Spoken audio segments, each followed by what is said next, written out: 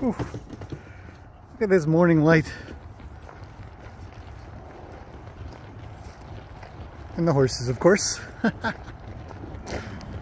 oh, he's talking. You guys can kind of see it too in the air. His breath comes out. But, uh, holy moly. I know, buddy, I know. Hello, Lena. guys are hungry. So, just a little morning share time for you guys. Huh. Horse noses and god rays everywhere. Alright, let's get these guys fed.